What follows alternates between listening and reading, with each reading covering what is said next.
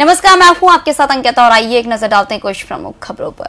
राष्ट्रीय स्वयंसेवक संघ कार्यकारिणी की बैठक का शुक्रवार को आखिरी दिन है। बैठक मुंबई के पास भाईंदर में केशव श्रुति में शुरू हुई है। इस बैठक में आज संघ प्रमुख मोहन भागवत के साथ बीजेपी के राष्ट्रीय अध्यक्ष अमित शाह भी मौजूद हैं। सूत्रों के मुताबिक आरएसएस और बीजेपी के बीच बैठक में राम मंदिर को लेकर चर्चा हुई है।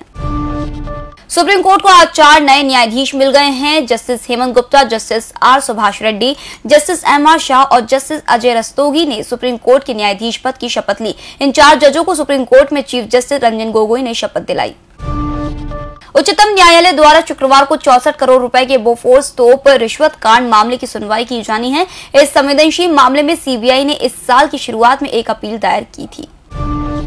मालेगांव ब्लास्ट केस में सात आरोपियों पर आतंकी साजिश रचने का आरोप तय हो जाने के बाद इस मामले का ट्रायल शुक्रवार से शुरू हो रहा है।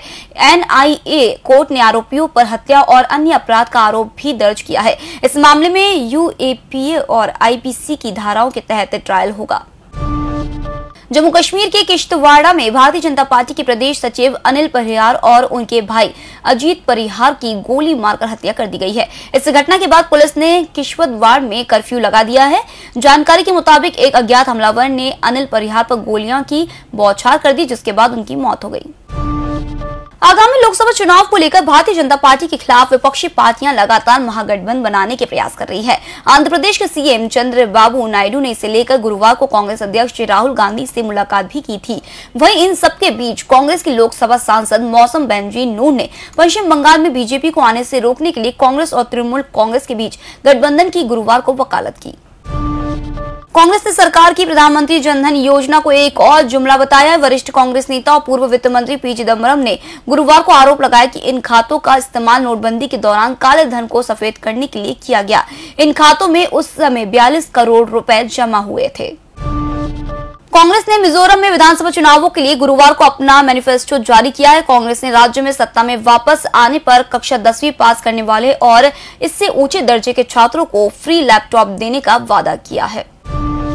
श्रीलंका के राष्ट्रपति मैत्रीपाला सिरिसेना ने संसद का निलंबन हटा दिया है और देश में चल रहे मौजूदा राजनीतिक गतिरोध को समाप्त करने के लिए सोमवार को संसद की बैठक बुलाई है। अधिकारियों ने गुरुवार को यह जानकारी दी।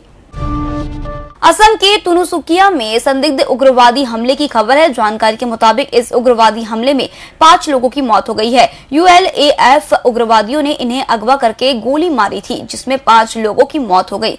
गुरुवार शाम को करीब पौने आठ बजे हुए हमले में उग्रवादियों ने छह युवाओं को उठा लिया था। फ़िलहाल इस बुलेटिन में इतना ही। आप बने रहिए एमएस टीवी के साथ। नमस्कार। जेनावन सेल्स क्रॉम्पटन ग्रीव्स के गीजर, पंखे and lighting luminaires heavy duty exhaust fans and cooler fans की संपूर्ण रेंज एल मोनार्ड के fans pedestal fans exhaust fans and air curtain की विस्तृत range जेनावन sales near Bharat talkies first floor Hamidia road Bhopal